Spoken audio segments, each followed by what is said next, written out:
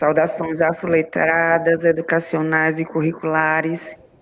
Sou a professora Elizabeth Bastos, vou fazer a minha audiodescrição.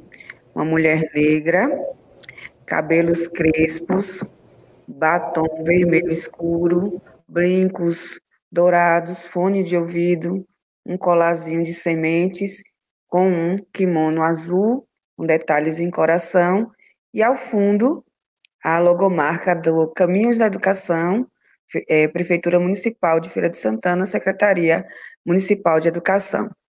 Bom dia a todos e todas. Aqui quem fala é o professor Jean Santos, professor da rede, trabalho na Secretaria de Educação, da área de Geografia.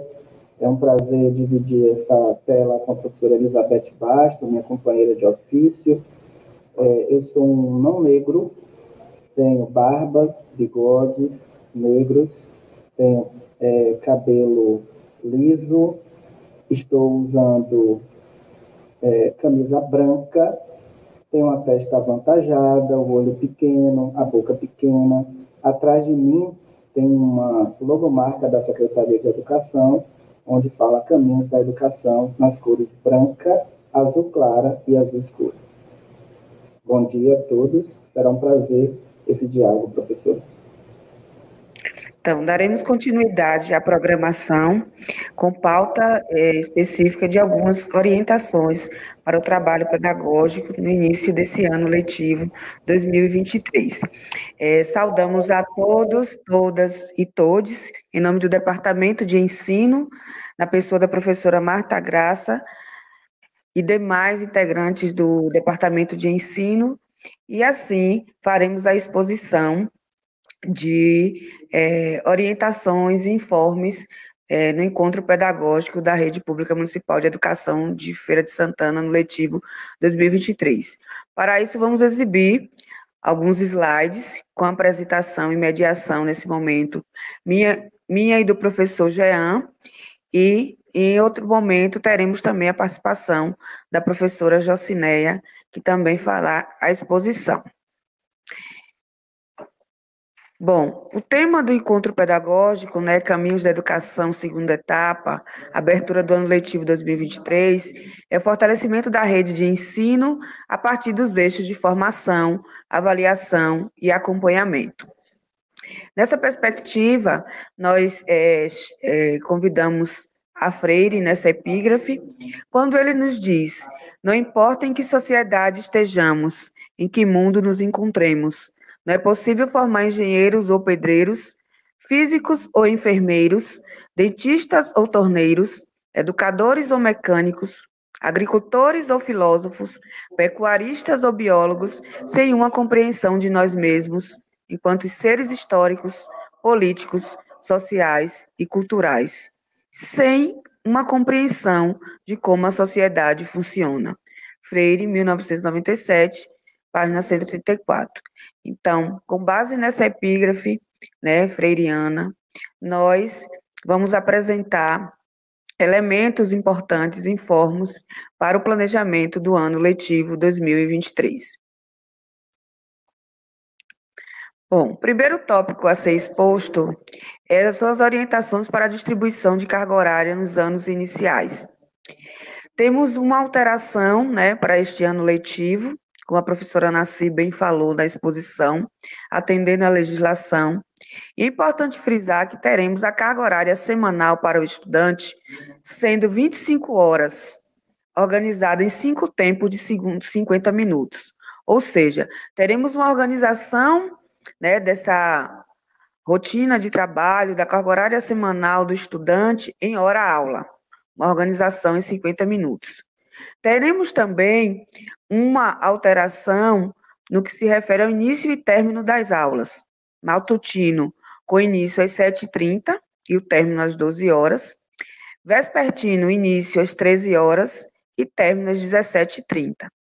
Friso que essa carga horária de 25 horas, em cinco tempos de 50 minutos, refere-se à carga horária semanal para o estudante e o intervalo pedagógico com no máximo 20 minutos. A seguir, nós vamos falar da organização da carga horária do professor. nesse contexto. A distribuição da carga horária para o docente dos anos iniciais terá a seguinte organização. Para professor efetivo de 20 horas semanais, teremos 13 horas aula de atividades de ensino, de atividades em sala de aula, e 7 horas aulas de atividades complementares das ACs, sendo 4 horas aulas na unidade escolar, quando não tiver formação pela SEDUC, e, as demais, e a demais carga horária, né, restante, as três horas aulas, de livre escolha, certo? Para o professor efetivo de 40 horas semanais, teremos 20 horas aulas de atividade de ensino, sendo 14 horas aulas de atividades complementares das ACs, sendo 8 horas aulas na unidade escolar, quando não tiver a formação desenvolvida pela SEDUC, e de, o restante da carga horária, né, as 6 horas aulas, para o professor de 40 horas, será de livre escolha. Lembrando que, quando tiver a programação de formação pela SEDUC, a escola será informada, e os professores e professoras também, previamente com o cronograma desses encontros para devida organização. No que se refere à carga horária do professor REDA, né, de regime administrativo REDA, segue a mesma orientação do ano anterior. E aqui registramos que maiores esclarecimentos e dúvidas, procurar o departamento de ensino se alguma gestão, algum gestor tiver dificuldade para a organização né, desse horário e dessa distribuição é, de carga horária. Bom, nesse momento agora temos a escolha das disciplinas diversificadas que também fazem parte né, da matriz curricular que foi implementada uma disciplina para os anos iniciais, né, de 40 horas, uma disciplina de 40 horas, e para os anos finais, duas disciplinas, sendo cada uma de 40 horas. A mudança que nós temos aqui é a implementação de uma disciplina para os anos iniciais, e no caso para os anos finais, é o desdobramento. Antes era uma disciplina de 80 horas, e agora nós teremos duas de 40 horas. E vou voltar novamente ao slide 6 para reforçar que aqui, no, o 6 e o 4, para reforçar que as orientações que nós demos aqui da distribuição de carga horária para os anos iniciais é a mudança que nós temos. No que refere-se aos anos finais, não tem alteração em relação à quantidade de horas, certo? A distribuição permanece a mesma. Estamos falando aqui do professor efetivo. E como eu repeti, para o professor Reda, permanece a mesma distribuição do ano passado, do ano anterior. Estou vendo aqui que tem muitas perguntas no chat. Nós não teremos condições de respondê-las hoje, por conta da programação, mas vamos é, copiá-las, selecioná-las, para posteriormente o Departamento de Ensino responder. Então, retomando aqui as disciplinas é, diversificadas. Anos iniciais, a implementação de uma disciplina de 40 horas. E temos o leque de possibilidades que foi publicado também junto com a matriz curricular. Para os anos finais também, a implementação de duas disciplinas, sendo cada uma com 40 horas, e também temos o leque de possibilidades. E que eu vou convidar agora o professor Jean para fazer a exposição dessas disciplinas diversificadas. Estaremos distribuindo o tempo né, para essa socialização da apresentação. Obrigado, Beth. Bem, nós temos aí a, uma cópia da publicação no Diário Oficial Eletrônico do município. É, foi publicado em 9 de fevereiro de 2023, onde dispõe na resolução do Conselho Municipal de Educação, o número 002 de 2023, sobre a matriz curricular do ensino fundamental para as escolas municipais de Feira de Santana, com oferta de matrículas em tempo parcial. É, Isso aqui também está disponível na secretaria para os gestores terem acesso, também no site da prefeitura. E ela ficou dividida da seguinte forma: as orientações sobre as disciplinas diversificadas para o ensino fundamental, anos iniciais e anos finais. Você vai ter educação ambiental e sustentabilidade para os anos iniciais e anos finais, iniciação científica para os anos iniciais, que é a iniciação científica 1. Você terá identidade e cultura 1 também para os anos iniciais, mídias e outras linguagens para os anos iniciais e os anos finais. Na sequência, nós verificamos o anexo 1 da resolução 02 do CME, aonde a gente consegue perceber, né, dentro das diversificadas, no primeiro ciclo de aprendizagem, você vai ter no primeiro ano 40 horas, no segundo ano também 40 horas, e no terceiro ano uma de 40 horas. No segundo ciclo de aprendizagem, você também terá uma disciplina de 40 horas para o quarto ano e para o quinto ano também uma de 40 horas, fazendo o total de 200 horas por área. Tá? É, a carga horária tem total de tempo de 50 minutos e a organização da redistribuição disso, tanto entre a carga horária disposta para os estudantes quanto a carga horária disposta para os docentes, se dará através da gestão da unidade escolar. Quais são essas disciplinas? O que é que essas disciplinas trazem? Você vai ter educação ambiental e sustentabilidade, que preconiza as relações sociais com a natureza, numa percepção da realidade ambiental, uma educação ambiental, a, o meio ambiente, os conceitos discutindo os conceitos ecológicos de ecologia, espécie, população, comunidade e ecossistemas, biodiversidade, direitos humanos e meio ambiente. Além de outras temáticas, vai, de outras temáticas, vai discutir também qualidade de vida, ética, a Agenda 23 e o conceito de sustentabilidade e consumo consciente. Na íntegra, vocês podem acompanhar né, esse documento que está em tela, mas também essa, esse anexo 2 da resolução que está, estará, está disponível para todos e todas. Iniciação científica, nós vamos ter ciência e conhecimento científico, estudantes como pesquisador, testagem de ideias, resolução das indagações, implicações políticas e sociais do conhecimento científico produzido pela humanidade, classificar, questionar, aplicar e generalizar resoluções de problemas é, teóricos e práticos do cotidiano. É, temos também a identidade e cultura, contribuições dos diferentes povos para a cultura brasileira, identidade e cultura no Brasil, características culturais locais e regionais, influências culturais, respeito e tolerância, a, a, a cultura de paz e cidadania, influências culturais quilombolas, indígenas e africanas, e uh, matriz familiar e características genealógicas, além de patrimônio etnoculturais e artísticos.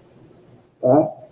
Nas mídias e outras linguagens, nós vamos ter globalização e mundialização da tecnologia, avanços tecnológicos na sociedade brasileira, cultura digital, esfera midiática e variadas formas de usos é, da linguagem na multimodalidade e multiletramento, além de práticas sociais e pedagógicas no do mundo digital, suportes, mídias e gêneros discursivos no ambiente virtual, escrita colaborativa online, é, modos de interação no ambiente digital, redes sociais, dentre outras temáticas. As orientações para os anos finais, nós teremos Iniciação Científica 2, Identidade e Cultura, Filosofia, Geometria, Literaturas, Leituras e Produção Textual. Temos a diversificada, sendo uma de 40 horas para o sexto ano, também para o sétimo ano, mais uma de 40. Para o oitavo ano, nós temos uma de 40 e para o nono ano também uma de 40, perfazendo 160 horas. Total da carga horária de 50 minutos aula, e a mesma orientação, que é a redistribuição da carga horária docente dos discentes, dos estudantes, na, pela unidade escolar.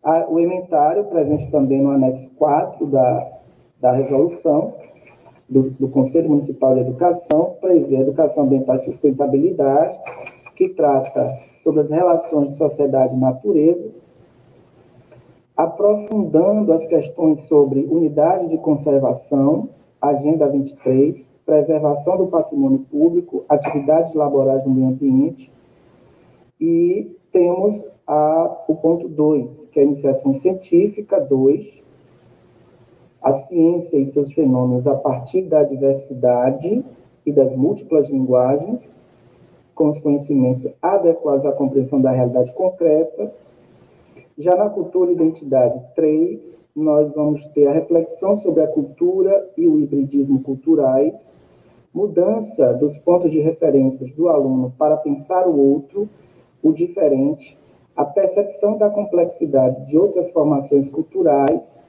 conhecimento e valorização de outras práticas culturais dentro da sua própria lógica cultural.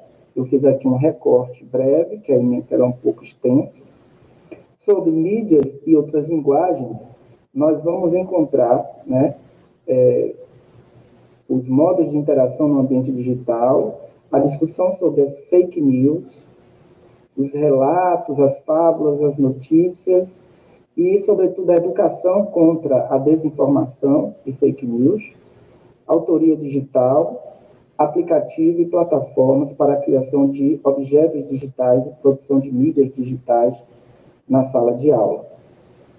Sobre filosofia, nós vamos ter a origem do sentido da filosofia, pensamento, ação e discussão filosófica, compreensão de si e do outro em sociedade, a filosofia afrocentrada, pensamento investigativo filosófico, desenvolvimento do pensamento filosófico e os filósofos, destacando, destacados e as suas teorias, conhecimento e poder, pensamento crítico e reflexivo.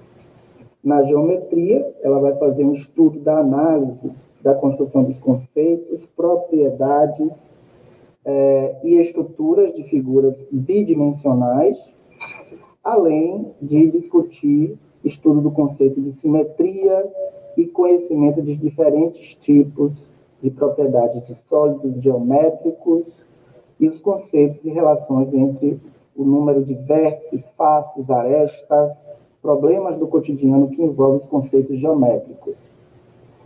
Leitura, literatura e produção textual vai fazer o estudo e a análise da apropriação de texto na perspectiva dos letramentos e das literaturas, a ampliação do repertório de leitura do texto literário de diferentes gêneros textuais, além uh, do gênero literário, poemas, fábulas, contos fantásticos e de aventura, crônica, texto dramático, narrativa infanto-juvenil e romance.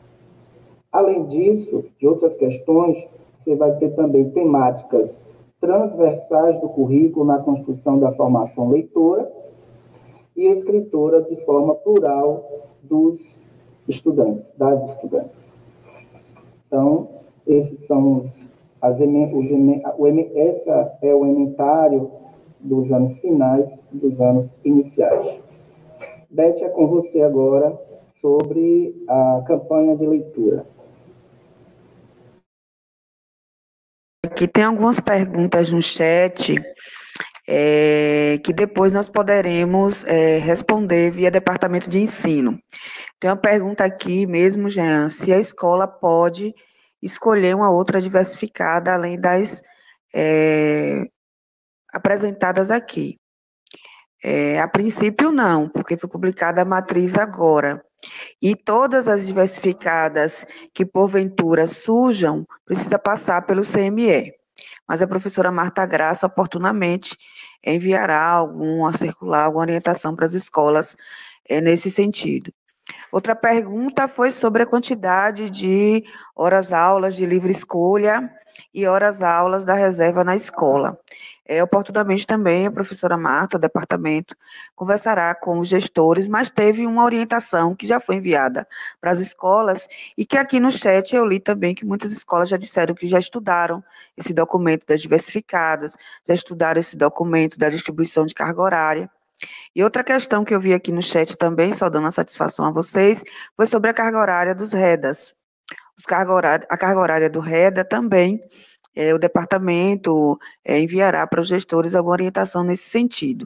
O que nós temos aqui para informar é que permanece a mesma distribuição é, do ano passado. Não teremos tempo hábil aqui nesse momento para abrir para uma discussão maior. Acolhemos todos os questionamentos, né, todas as dúvidas no chat e encaminharemos para o departamento de ensino, ok? E outras dúvidas que porventura surgirem, a gente está registrando aqui para discutirmos internamente é, no departamento de ensino e é, encaminhar respostas para os gestores. Bom, dando continuidade à apresentação, nós vamos falar dos projetos e ações institucionais já socializados pela secretária, e um dos primeiros que nós vamos falar é da campanha de leitura e escrita, que ela permanece no ano letivo de 2023, né, como uma política pública de fortalecimento das leituras escritas e oralidades nas escolas. Então, ela continua, certo, com, as, com como outras ações institucionais. Então, a ideia é valorizar, reconhecer, mobilizar projetos de leitura, escrita e oralidade nas escolas da rede.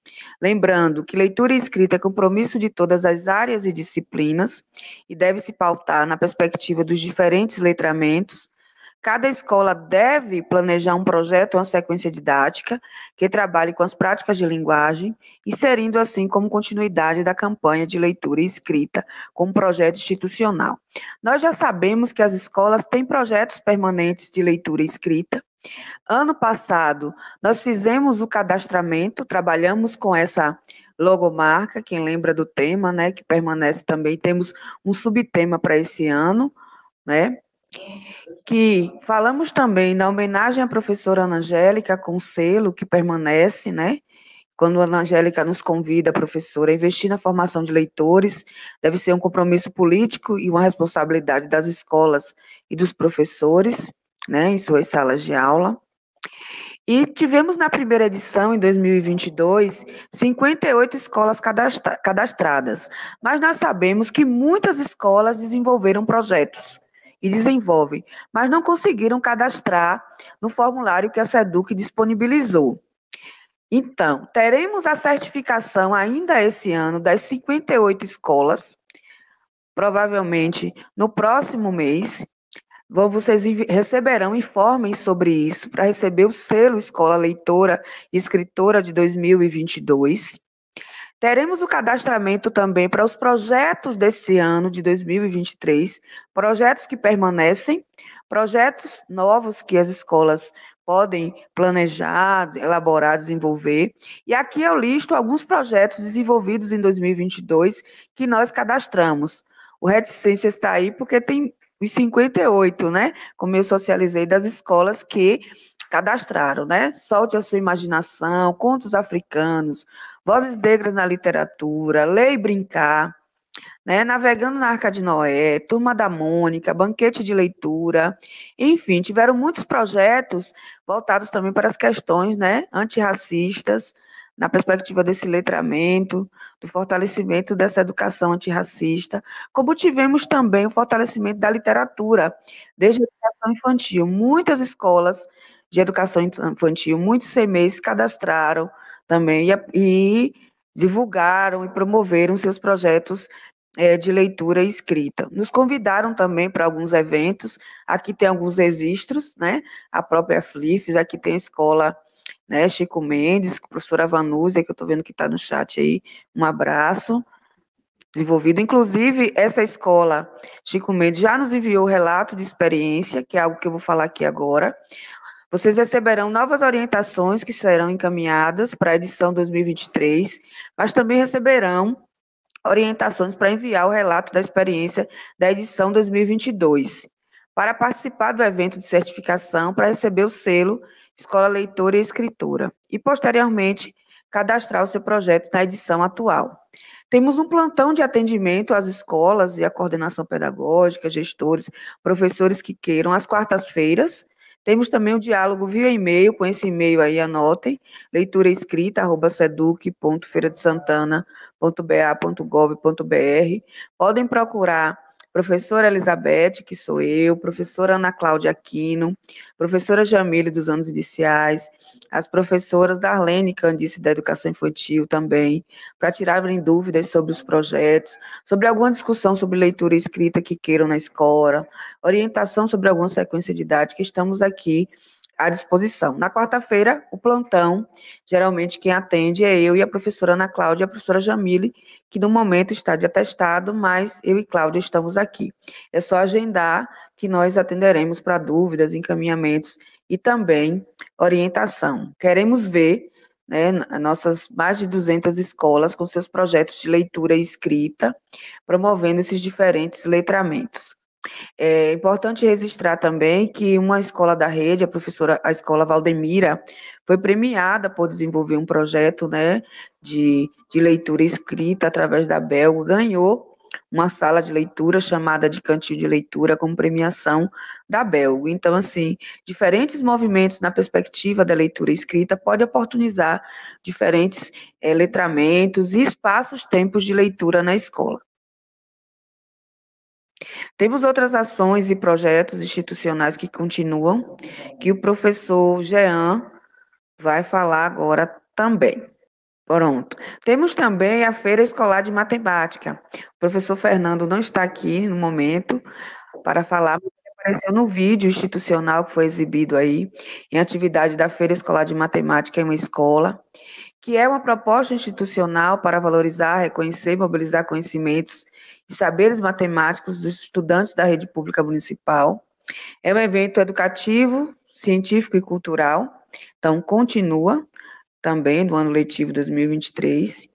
Um dos princípios das feiras de matemática é melhorar os processos de ensino e aprendizagem da matemática, com base nos princípios construídos né, no início do movimento, estudos, pesquisas, discussões coletivas, né, aqui tem o diagrama falando desses princípios norteadores da né, matemática, a integração, a inclusão na perspectiva dos direitos humanos, avaliação formativa, coletiva, corporativa, discussão coletiva e democrática, caráter público e formação de professores. Além disso, é, foi iniciado esse projeto com quatro escolas em 2022, né?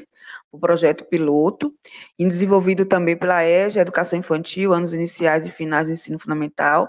Houve um processo formativo com esses professores, em parcerias com escolas e também IES. E neste ano de 2023, o projeto está ampliado para toda a rede, devendo ser realizado em todas as escolas. E novas orientações serão encaminhadas, junto com o guia de referência para as escolas, Cada unidade deve construir um plano de ação para desenvolver o projeto no decorrer do ano letivo. Então, viva as leituras, as literaturas e viva a matemática, né? Os projetos institucionais, eles continuam. Quem sabe, né? Fernando não está aqui, mas eu vou provocar, é, casar aí leitura escrita em matemática, nas poesias, nas literaturas. Fica o convite aí também, viu? Para que as escolas pensem tanto é, a campanha de leitura na escola, nos projetos de leitura escrita, quanto a feira de matemática também. Com você, Jean. Valeu, Beth. Bom, um outro projeto que nós temos é o projeto da educação antirracista e a quebra de silêncios. Nós tivemos essa, esse projeto, a sua primeira edição, no ano passado. Foi um projeto muito exitoso, em que a gente pôde dialogar com as bases, com os professores da rede, sobre os conceitos e categorias da educação antirracista. Podemos também trazer pessoas de fora para discutir esses conceitos e ampliar nosso olhar sobre a aplicabilidade desses conceitos na nossa rede, no nosso sistema de ensino. E um dos objetivos principais dessa educação antirracista e a quebra de silêncios está na compreensão das dimensões da educação antirracista e sua importância para a educação na quebra desses silêncios, fortalecendo o desenvolvimento de ações na perspectiva é, de uma educação antirracista. É, temos também os projetos internacionais. Com a chegada de estudantes internacionais no nosso contexto, a gente entende que é importante ter um olhar atento às vivências e experiências pedagógicas nessa perspectiva cultural. É, uma, é um grande desafio é, nós termos estudantes de outros países, de outras culturas, no nosso sistema de ensino, inclusive para a conviver com a diversidade dos seus usos e costumes. Então, teremos aí esse, esse projeto de estudante internacional, fazendo com que a gente, sobretudo, entenda qual o sentido da migração né, nos nossos planejamentos dentro dessa perspectiva de interlocução entre os países e Feira de Santana sendo um dos pontos de recepção desses estudantes. Entendendo que ligar é sempre complicado, né? primeiro porque nem sempre ou quase nunca é uma escolha voluntária desejada.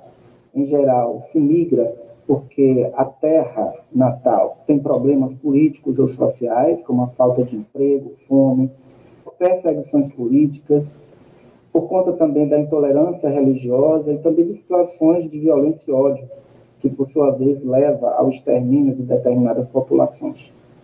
Então, as condições de vida também precárias, sobretudo considerando o futuro dos filhos para que desejam melhores oportunidades. Essa migração acontece e nós, do sistema de ensino, teremos que estar preparados para acolher já essa população que se encontra e as que estão por chegar.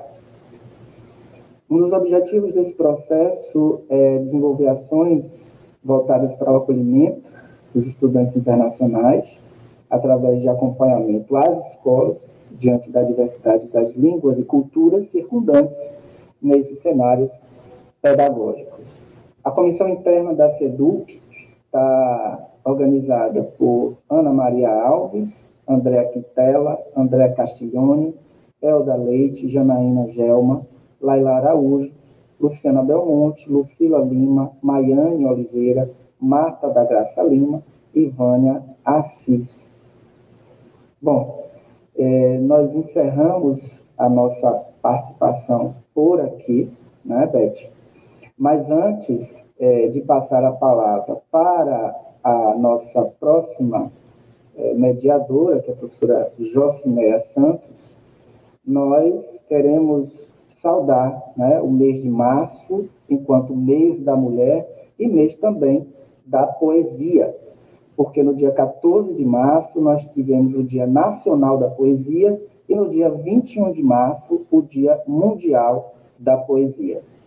Então, para uma educação antirracista e também para uma profundidade no deleite das palavras de Carolina Maria de Jesus, no livro Antologia Pessoal, nós trazemos o poema A Rosa, onde ela diz: Eu sou a flor mais formosa, disse a rosa vaidosa, sou a musa do poeta. Por todos sou contemplada e adorada, a rainha predileta. Minhas pétalas aveludadas são perfumadas e acariciadas. Que aroma recendente! Para que me serve esta essência se a existência não me é concernente. Quando surgem as rajadas, sou desfolhada, espalhada, Minha vida é um segundo. Transitivo é meu dever de ser a flor rainha do mundo. Viva a Maria, a Carolina Maria de Jesus, viva a nossa negritude. É com a professora Jocineia neste momento. Obrigado. Obrigada, gente. Jocineia vai dar continuidade agora. Bom dia a todos e todas. É com muita alegria, né, que a gente termina esse momento aí com poesia. E viva a poesia, viva a educação. Eu sou a professora Jocineia Santos. É, eu sou negra, cabelos lisos. Estou usando um blazer preto, uma blusa lilás, óculos claros e um batom rosa e o fundo está uma parede branca atrás de mim. É, primeiro, quero cumprimentar todos que me antecederam, na figura da professora Nasci, Nasci Paenha, professora Marta da Graça, professora Raida Neves, chefe da divisão de inclusão de diversidade, e a todos os ouvintes que estão até aqui conosco.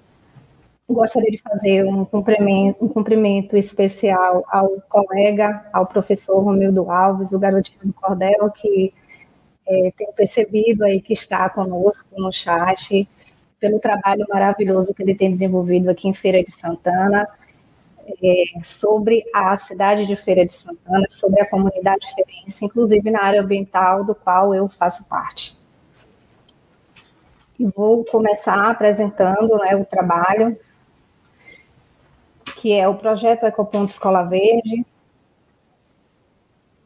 esse trabalho ele foi iniciado ano passado como uma campanha e esse ano tornou-se um projeto institucional. É, o, o, o, trabalho ele, ele emerge né, da, do departamento de ensino, da equipe de inclusão e diversidade, aqui representado pelo núcleo de educação ambiental, e no ano passado, o nosso foco foi com relação ao lixo eletrônico, fazendo um link com a campanha de leitura escrita, é, visto que nós trabalhamos dentro de uma perspectiva de um letramento ambiental. Eu gostaria de falar com vocês um pouquinho qual é a função do ecoponto, né? O que é um ecoponto?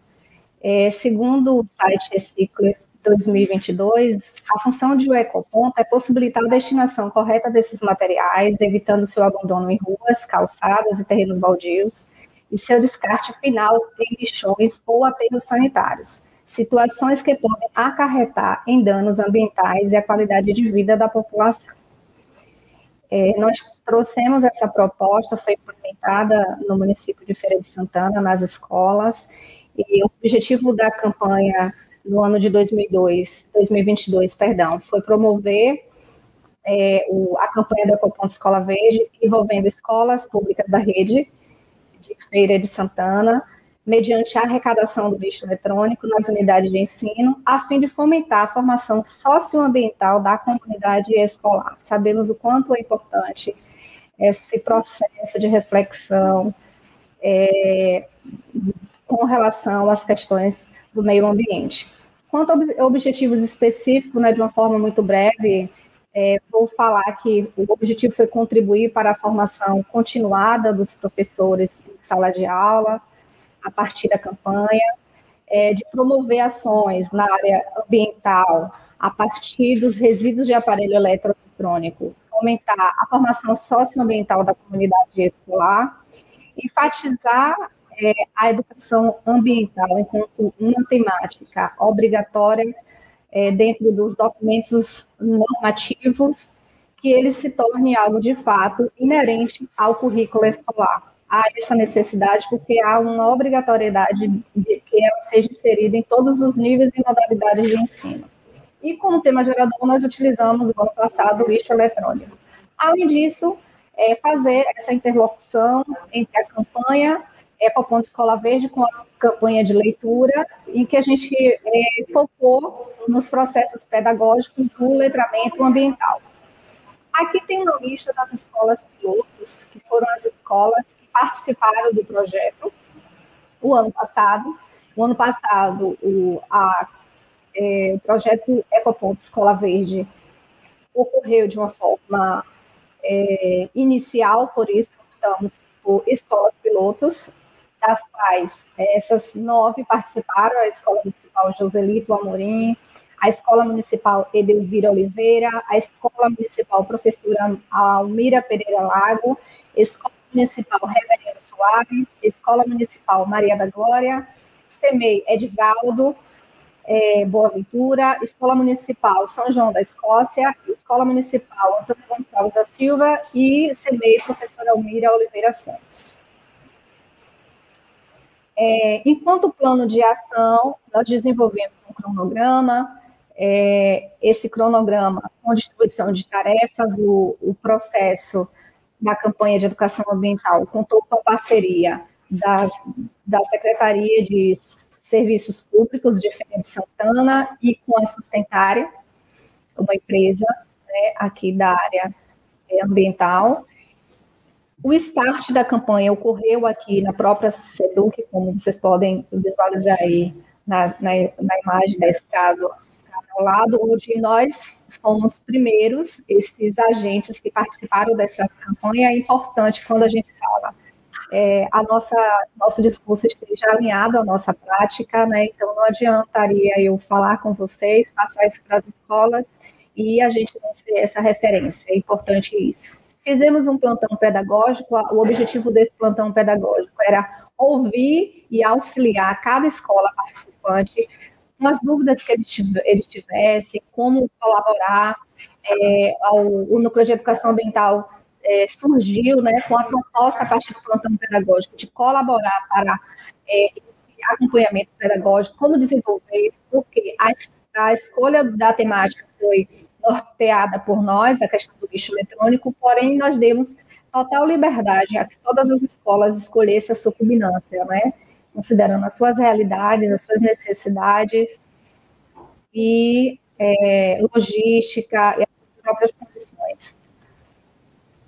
É, tivemos uma semana de mobilização. Essa semana de mobilização ela ocorreu nas escolas com o objetivo de mobilizar os estudantes e toda a comunidade escolar de uma forma geral, né, é, com os conteúdos curriculares de uma forma que foi orientada, que, foi, que ocorresse de uma forma interdisciplinar, é, e com, com, o tema gerador, o lixo eletrônico, e a culminância, a culminância ocorreu em cada escola, cada escola desenvolveu seu próprio projeto com foco no lixo eletrônico, é, a Sustentare é, a cada escola é, piloto um, um ecoponto, né, que é a caixa coletora, para estar recebendo, estava recebendo os resíduos é, eletroeletrônicos.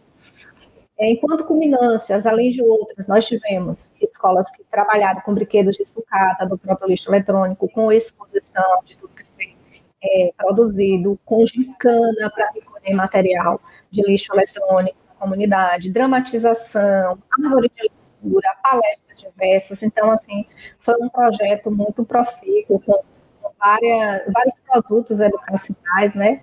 E modalidades organizativas aí. Aqui tem algumas fotos é, para mostrar a vocês, aqui do, é de um e-mail, Edivaldo Boaventura.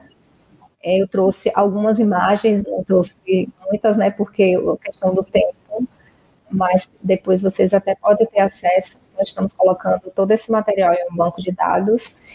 E, assim, o trabalho de todas as escolas, gostaria de parabenizar todas as escolas, a todos os professores, gestores, todos vocês que se envolveram em um trabalho tão lindo. Foi um trabalho relativamente rápido, porque a gente começou a parte de formação em agosto e nós finalizamos em dezembro de 2022. Mas, assim, foram trabalhos belíssimos. Aqui, todo, tudo isso que vocês estão vendo foram produzidos pelas, pelos próprios estudantes, com a mediação dos professores porque esse era o objetivo.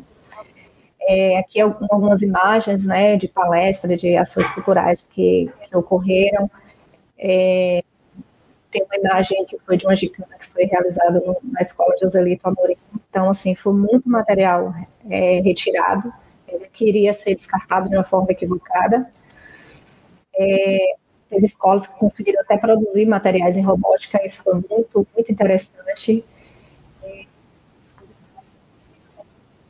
Aqui tem outros, outros trabalhos desenvolvidos. E eu gostaria de trazer para vocês, para a gente caminhar já para o final, um pouco sobre a avaliação, né?